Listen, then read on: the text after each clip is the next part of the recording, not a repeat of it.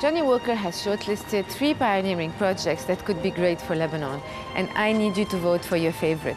This is the environmental project by Micro WTE. See what you think. Not long ago, people spoke of Lebanon as a land renowned for its natural splendor and spectacular shoreline. Today, however, the country tells a very different story.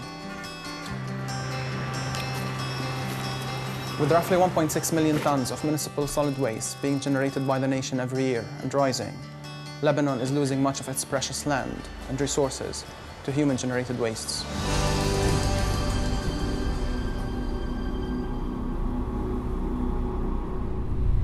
But what if there was a way to utilize that waste and transform it into safe and green energy?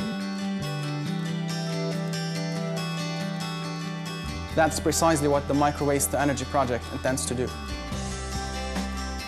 This technology will be installed in different types of buildings, such as hotels, towers, commercial centers, or even schools, and will convert the waste generated by those buildings into free cooling and heating energy.